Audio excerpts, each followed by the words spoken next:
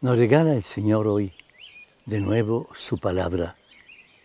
Del Evangelio de San Mateo capítulo 5, versículos 43 a 48.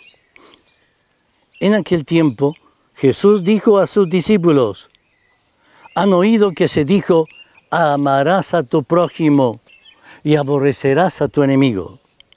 Pero yo les digo, amen a sus enemigos, recen por los que los persiguen, para que sean hijos de su Padre Celestial, que hace salir su sol sobre malos y buenos, y manda la lluvia a justos e injustos. Porque si aman a los que los aman, ¿qué premio tendrán? ¿No hacen lo mismo también los publicanos? Y si saludan solo a sus hermanos, ¿qué hacen de extraordinario? ¿No hacen lo mismo también los gentiles? Por tanto, sean perfectos como su Padre Celestial es perfecto. Palabra del Señor. Gloria a ti, Señor Jesús. Evangelio estremecedor, porque sus consecuencias llevan a hechos y actos casi imposibles de concebir. Mira, por ejemplo, lo que sucedió algo hace algunos años. Un sicario persiguió a alguien, era precisamente un personaje dentro de su zona, y de un tiro le quitó la vida. Era un chiquillo, apenas un aprendiz de sicario.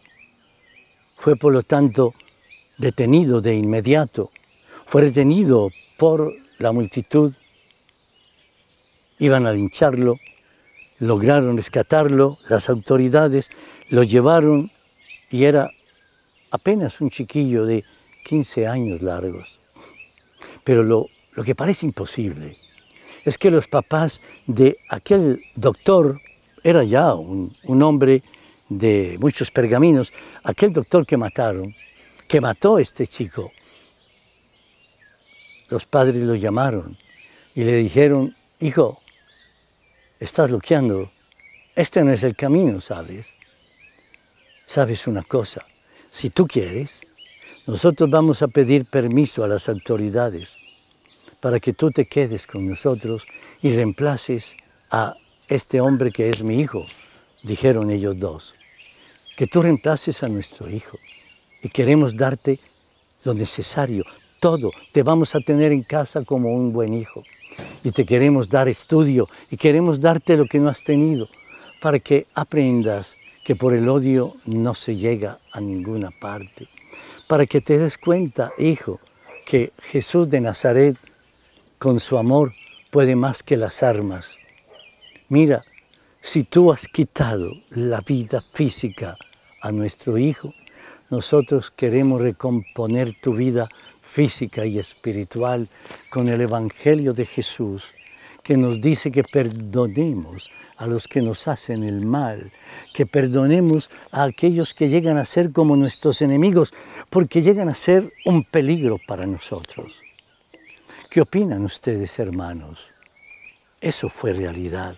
Ciertamente las autoridades no permitieron porque, pues bueno, algunas leyes no alcanzaban a cubrir semejante oferta que solo se exprime del Evangelio, de ese amor inmenso y poderoso, del amor de Jesús. Sí, es verdad, es realmente maravilloso es amar al enemigo, al que me hace el mal. Ese es el carnet exclusivo que me viene a identificar como profundamente cristiano. ¿Seré capaz de hacerlo? Porque estamos muy lejos de eso. Porque aún los que, los que creemos nos atacamos entre nosotros mismos. Porque aún las religiones se atacan porque aún los que pertenecen a un credo u otro credo, también nos atacamos. Jesús, qué lejos estamos de este saber convivir como hermanos, saber perdonar al otro, porque piensa distinto, porque tal vez esté equivocado. Enséñanos, Señor, a amar con tu corazón, que es de perdón, que es de reconciliación, que es de amplísimo amor. Señor, es la verdad. Cómo me falta, cómo nos falta este amor tan profundo. Cómo me falta llegar a decir, amo enteramente al enemigo. Cómo nos falta esta realidad de tu Evangelio.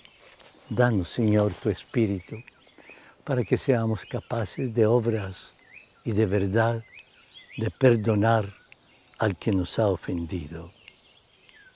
Nos bendiga el Señor para ser capaces de todo ello en el nombre del Padre, del Hijo y del Espíritu Santo. Amén.